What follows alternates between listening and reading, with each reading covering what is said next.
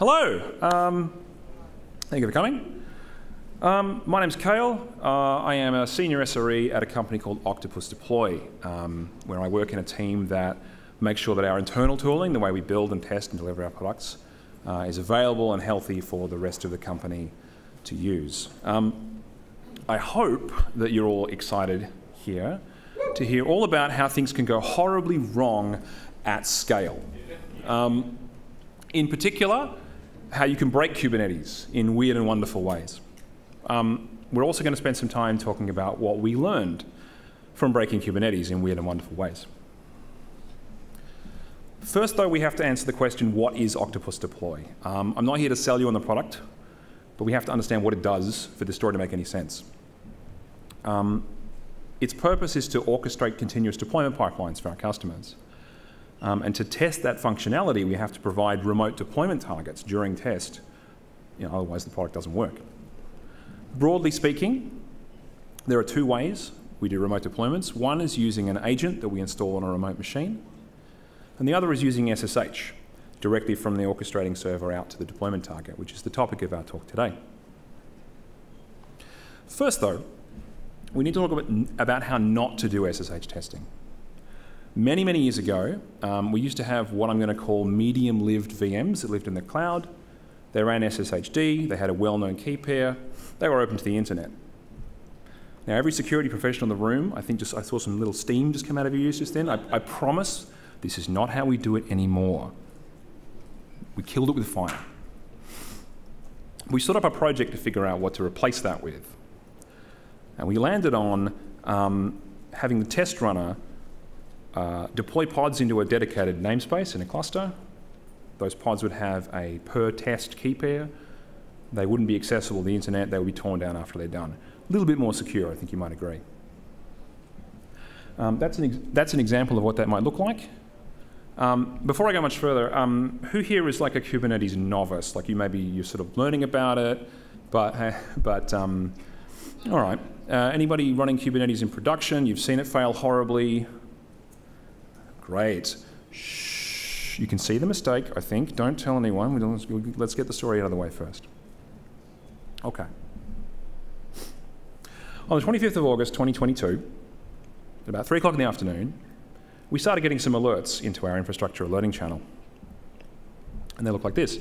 Um, an image pull back off is when you have a pod that's launching, it's trying to get its image from a registry, it can't for some reason, and it's saying, hey, I just need to wait for a while, this is just too hard. So we start an incident, there's quite a few of these going off, we go in and look at the cluster, and then we see this. Now, I'd never seen this before, this baffling.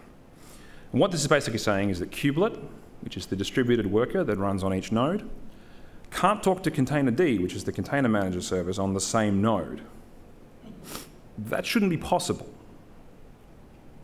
We do some more digging and we realize these nodes are horribly overloaded. Um, oh yeah, you can kind of see that. Um, this graph is showing the number of waiting containers across the namespace, and that peak up at the top there is 750. Now, I don't know what scale you run at, maybe that's not very much. For us, that's a lot. That horizontal line at the bottom there is the normal amount of waiting containers, about five. So this is over 100 amount, uh, times the amount of, of yet to be scheduled work. This is not a good situation for us to be in. In addition, we realize that it's not just one bad node. There's some retry pattern here that is causing the system to give up on that node and go launch hundreds of pods on another node, and another node, and another node. Oh dear. So we try to get ahead of the problem. We go in and we uh, manually scale up the node pool very quickly to try and give it some breathing space. We also ship an infrastructure change to drop the number, the maximum number of pods per node from 250 to 125. Now, again, the experts in the room, why was it ever 250? I promise there's a good reason. I'll come back to it later. We also ship a change on the test runner to increase the um, timeout before it waits to retry, just in case that's contributing to the issue. Some hours go by while these changes roll out, and thankfully, we see the number of waiting pods come down, things kind of come back to a normal situation. We call the incident done. About a week later, we run a retro as we do, and we look for what we call contributing factors to this incident. We see, okay, um, turns out these nodes are actually quite a bit smaller than any of us really remembered. Um, they're also running normal disks, so not SSDs, spinning metal. I know it's foreign to some people these days, but we were running, you know. Um, we're also saying image pull policy of always. What this means is that every single pod landing on that node is going to go make a call out to the registry just to check if the, node, if the image hash has changed. And you combine all of that with 200 pods arriving at the same time, as we saw, you're going to have a bad time. As I mentioned, we also had a retry pattern causing cascading failure through the cluster, not just a single point of failure. And the only other thing we could really figure out is that maybe we had slightly more builds than usual, not 100 times more, a little bit more. Now, as we all know, you have your incident, you do your retro, you take some corrective actions, and then you fix things, and that means you won't have the same problem again. I mean, it's not like I'd come up here in front of all of you and talk about how we not only had one, but two incidents where we couldn't launch these pods. I mean, that would just be. Um On the 29th of November 2023, 15 months later, we get an alert that says, it's a bit different this time, it says the tests are failing because pods aren't launching. this seems familiar. We start an incident, we go in and have a look, we see a different error message. This one might be more familiar to you. This is saying that the node is approaching overload and it's trying to kick out or evict work based on a kind of complicated ranking mechanism. This is what you would normally see well before that first one. And we noticed, hmm, oh. For the novices in the room, um, the deployment manifest can optionally have a thing called a resource request at the bottom here, where you tell the cluster, my workload needs a little bit of RAM, it needs a little bit of CPU, and then the uh, scheduler makes sure that it only puts the work on a node that has that much capacity left. We hadn't done that. So we shipped a change to do that. That took a while to roll out. Things calmed down. We call the incident done. In the retro, we kind of struggled because we'd made the pod limit change and we had actually, um, in the intervening months, moved to SSDs. Maybe that helped.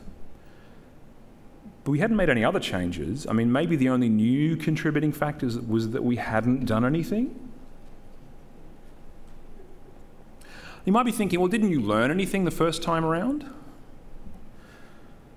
We had made changes, but for operational reasons. The first incident, we really struggled to actually make those infrastructure changes quickly. So we made improvements to pipeline safety. They helped us respond more quickly, but they didn't prevent the second occurrence. It turns out our system was complex enough that it made it impossible for us to know at what point it was going to fail. You know, we had an over-provisioning system that was supposed to see us approaching limits and expand nodes. Didn't work. We had a janitor that was supposed to go and spot pods that had been hanging around for too long and remove them.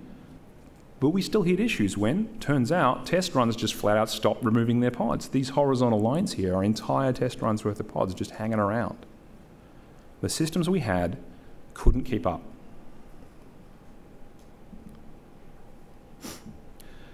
Now, I said just before we had a complex system.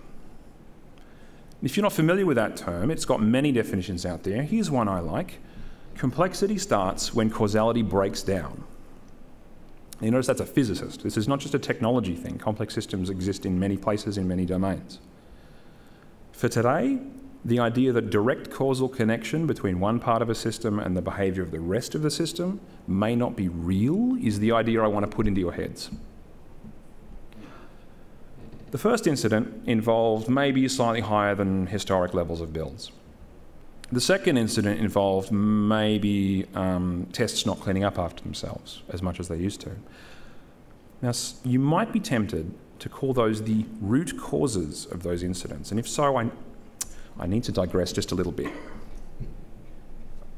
There's a, a piece of children's literature uh, called Who Sank the Boat? It's written by Pamela Allen. I read it to my kids, they love it.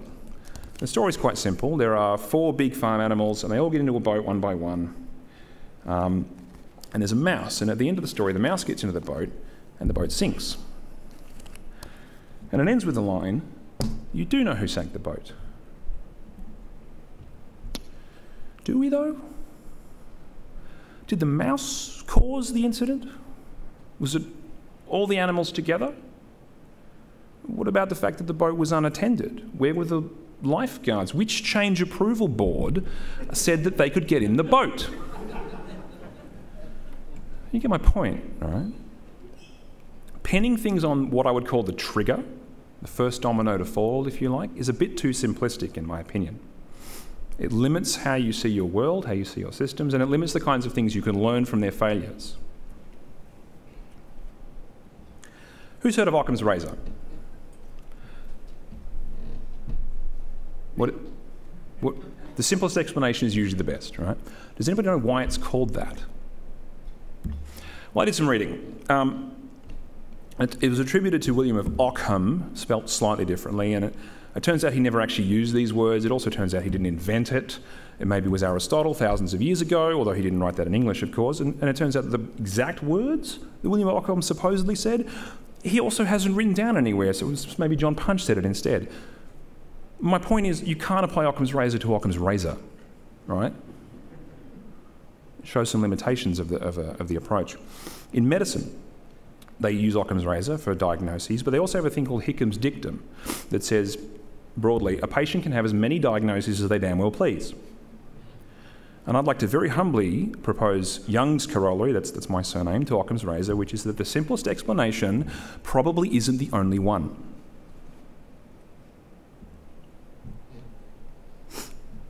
Some of the factors that our team's uncovered over time need deeper, deeper exploration than I really have time for, unfortunately. But I'm going to introduce some concepts and some terms that maybe you can go do some reading afterwards if you'd like. One of the primary challenges we face is, is providing a reliable system against slowly growing demand, against inexorably growing demand. Not spikes, just like slowly going up. Sidney Dekker, who is a safety academic, writes in his book Drift into Failure about drift into failure. And this is where things seem to fail quickly, but when you look back, it actually turns out there was this slow erosion of safety margin over time through normal activities, and this is something you need to be aware of. Um, Robert Hoffman and David Woods write about the law of stretched systems, which says that in any complex system, any improvements you might make are rapidly eaten up by other stakeholders in the system. You might have heard this expressed as work expands to fill the space provided, or similar things, but there's actually a studyable effect that these two have, have documented. And finally, Richard Cook, in How Complex Systems Fail, writes about the idea of latent failure modes, is where your systems have these, these points of failure that you're not aware of until you're well beyond them. We only know the cause of an incident after it's happened. That might seem like an obvious thing to say, but I want to dig into hindsight just a little bit. Our team made a bunch of reasonable decisions the whole, all along the way, this whole journey. For example, 250 pods. We actually tested that in the beginning. Worked totally fine, really robust. It was not a problem for us until it became a problem for us. Near as we can tell, the workloads went from using 5 megs of memory to 50 megs of memory, and that doesn't seem like much until you have hundreds of them, hundreds of them on a, on a node with 4 gigs of RAM, and then that's a problem. What seemed reasonable in the beginning was eventually not reasonable. But that doesn't make the original decision wrong you might find yourself looking back during or after an incident and judging your decisions or others' decisions. In those moments, try to be blameless. Um, Matt Davis writes a great blog about this. He calls it the Tao of blamelessness. He says that blame is a normal human feeling, you're going to feel it, but try to set it to one side when you're thinking about what you should learn from some, some situation. So, what did we learn? And other than ignoring this ad that's been following me on Reddit for the last few months, I'd say we had a 15 month period where the mitigating actions we took the first time around worked just fine. So, was the second incident a repeat? Is a repeat even possible? I don't want to be too philosophical here, but I think it's a valid question to ask.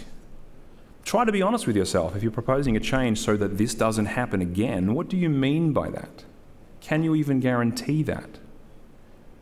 Given what we talked about earlier about causality leaving the room in complex systems, I don't think you can. So I'd say that we learned that we can't completely prevent similar failure modes just by taking specific corrective actions. We have to prepare for failure regardless. But if you want to take away one thing, it's that even the smallest deployment should probably have a resource request. Um, I'm a hobbyist photographer, and there's a thing in photography called the rule of thirds. You know, you want to put someone's face on a nice third line, horizontal or vertical in a picture. But there are great photos that don't follow that rule. Use it as a sensible default until you know enough about your system and about Kubernetes to know when not to use it, even though it's optional. If you want to take away two things, it's that the systems you work on and are part of are capital C complex. Um, I've used a, a, term there, socio-technical. Um, the software that you use or, and or are affected by requires technology and people inextricably linked to work. Um, I think we're better served trying to improve our world in general rather than focusing on what caused our last incident. And we've talked about contributing factors for failure, but also think about your contributing factors for success and invest in those. And finally, um, I talked about a lot of failure here, but what about doing Kubernetes well? Well, right after this, uh, my colleague Rob Pearson is giving a talk about how we did a migration. Hopefully, there's a lot less fail in it than that one. Stick around. Um, other than that, I need to thank my past and present colleagues, those who reviewed the talk, my wonderful partner. And if this is the kind of thing that interested you, um, I'm going to give you some optional homework, which is to go to how.complexsystems.fail. It's a very short read. It's not a dry academic text. Um, and if it unlocks something in your brain, reach out to me on LinkedIn. It's unfortunately my only public social media. Um, I'd love to hear from you. So thank you very much. I think I have some time for questions.